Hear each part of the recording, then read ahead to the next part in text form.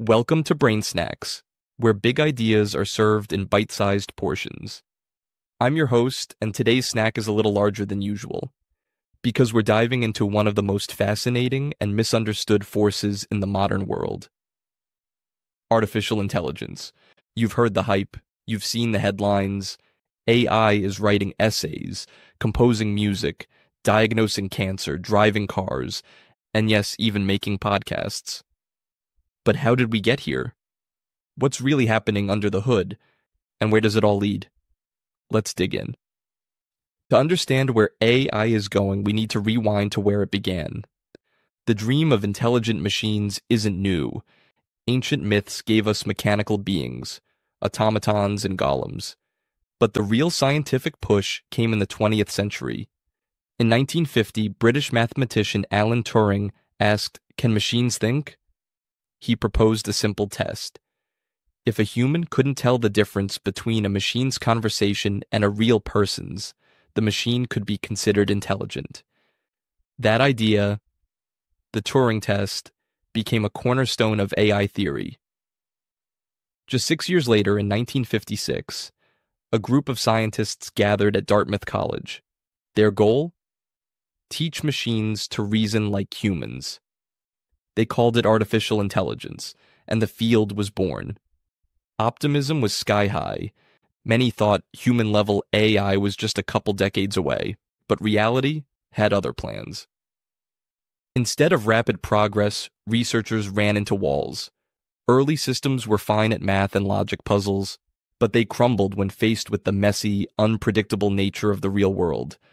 Funding dried up, interest cooled. This period became known as the AI winter, a time when promises far outpaced performance. But the field didn't disappear.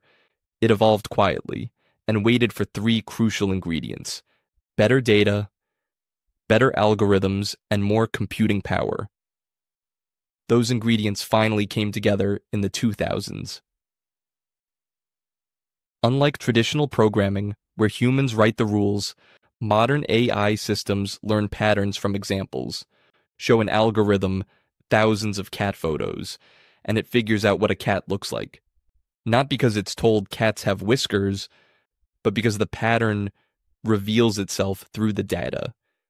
This approach is called machine learning, and when taken to the extreme, using massive networks modeled after the brain, it becomes deep learning. With deep learning and the right hardware, AI could finally do things like recognize faces, understand language, and even write its own code. That's when the breakthroughs started to snowball. By 1997, IBM's Deep Blue defeated world chess champion Garry Kasparov. In 2011, Watson crushed the best players in Jeopardy! In 2016, AlphaGo beat a champion at the game of Go. Something many experts thought was decades away. And by the early 2000s and 20s, we had AI models that could write poems, generate art, hold conversations, and even compose music. You've probably heard of some ChatGPT, Midjourney, Claude, Gemini, these aren't just novelties. They're general purpose tools that can perform a wide range of cognitive tasks. Tasks we once assumed only humans could do.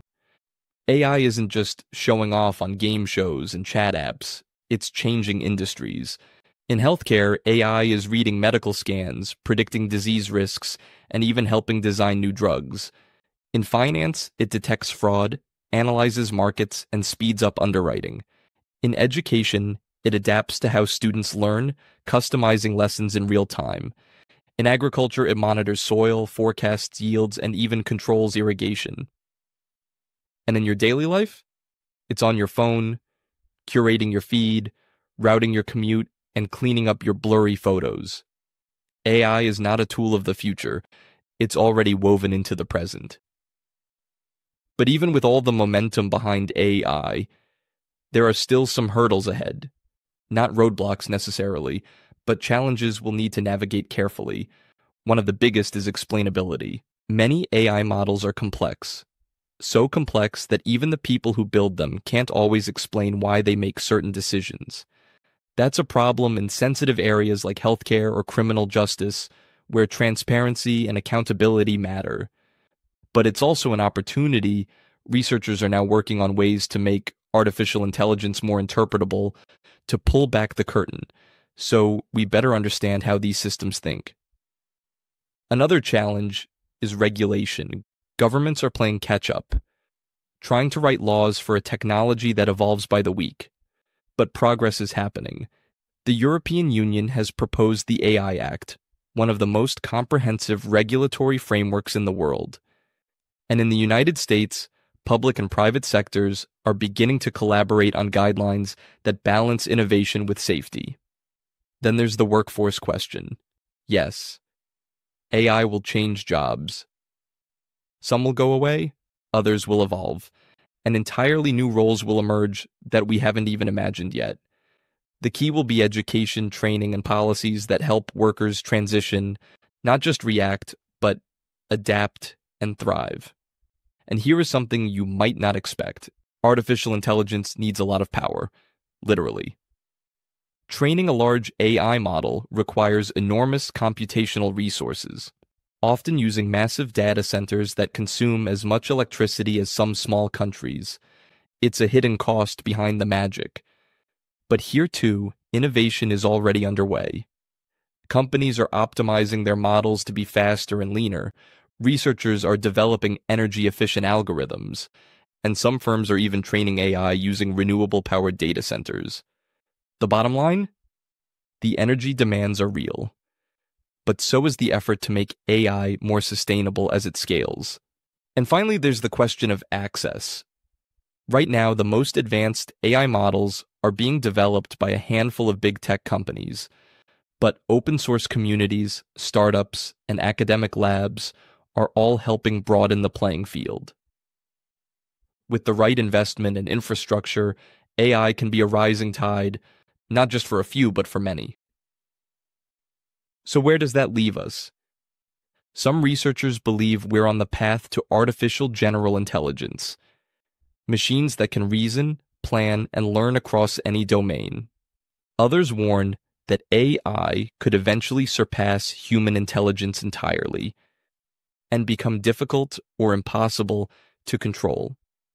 That may sound like science fiction, but, but a few years ago, so did everything we're seeing now. What's clear is this AI will shape the future, but the shape it takes is still up to us because artificial intelligence doesn't have values. It doesn't care about fairness or truth or kindness. That part still depends on the humans. Thanks for tuning in to Brain Snacks. Subscribe for more big ideas explained simply.